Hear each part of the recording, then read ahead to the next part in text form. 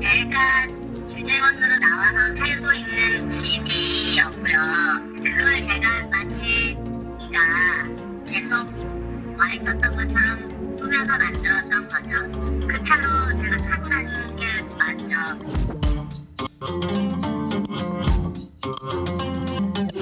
BBQ 측에서 거액의 소송 압력을 거니까 그러면은 BBQ에서 일어난 건 일어난 장 받은 거 없고요. 압력 받은 거 없고 해요 받은 것도 없습니다.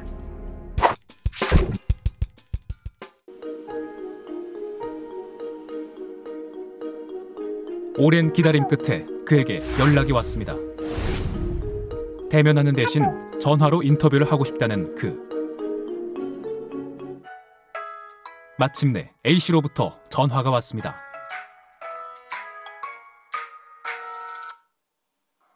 여보세요. 아, 네, 안녕하십니까.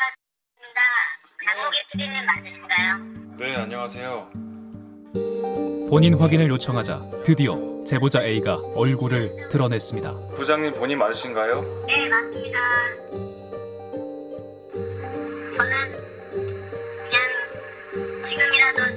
잘못한 부분들 인정하고 잘못된 거를 바로잡기 위해서 이게 마지막이다라는 마음으로 인터뷰에 응하게 됐고요.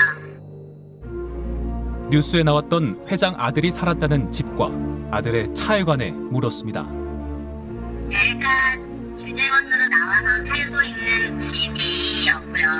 그걸 제가 마치 계속 와 있었던 것처럼 꾸며서 만들었던 거죠. 그 차로 제가 타고 다니는 게 맞죠. 그렇다면 회장의 서명이 들어간 이 서류는 어떻게 된 것일까? 그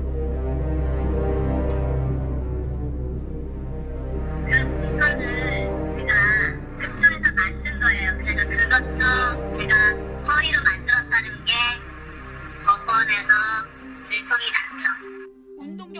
그가 횡령의 근거로 제시했던 수많은 영수증도 사실은 윤 회장이 보내온 아들의 생활비를 빼돌리기 위해 조작했던 것이라고 합니다.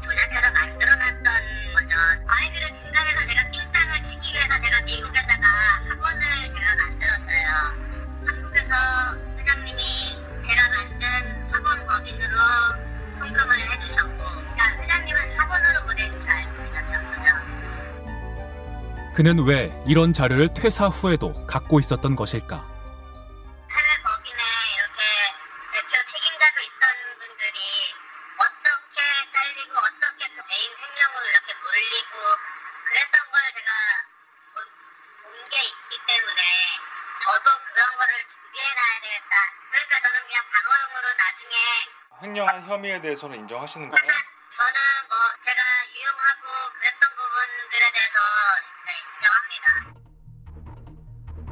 제보자 A의 바뀐 주장에 대해 KBS는 어떤 입장일까? PD 수첩에 답변서를 보내왔습니다.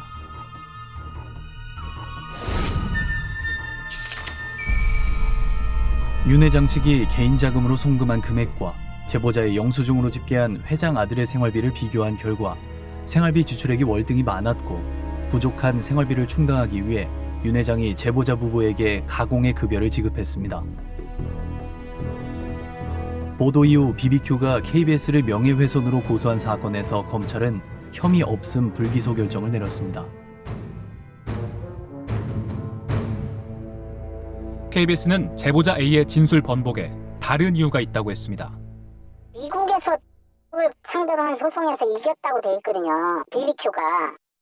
하고 BBQ하고 그냥 합의를 한 거예요. 아니 한번 생각을 해보세요. 무슨 일이 무슨 일이 벌어졌을지 한번 생각해 보세요. 매수된 거예요. BBQ에.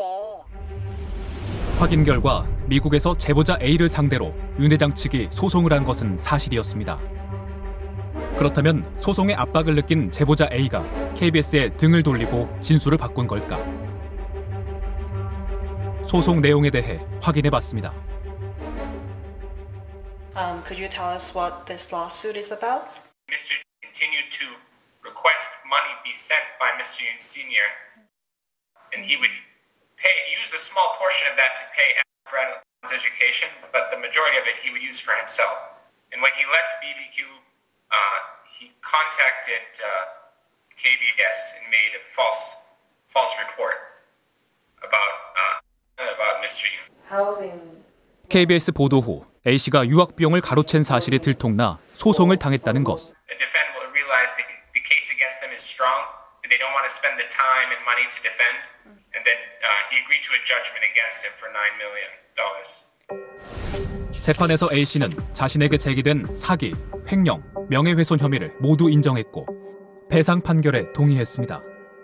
그 액수가 우리 돈으로 100억 원에 달합니다. 이 재판 결과가 제보자 A에게 압박 카드가 되진 않았을까? 다시 윤 회장에게 물었습니다. BBQ에서 압력을 가하고 있기 때문에 진술을 번복한 것이다. 그건 절대 있을 수 없는 일입니다. 저희 기업에서 회유를 한다거나 아, 뭐 예를 들어서 매수를 한다거나 이것은 현 정황상 절대 불가능한 일입니다. 그 친구에 대해서는 어, 믿지 않는다. 그 다음에 어, 언제든지 어, 변할 수 있다라는 게 저희의 저희가 그 친구를 보는 입장이고 저희가 만약에 그 친구를 회유했으면 또 지금 또 뭔가 하나 터트리겠죠 또.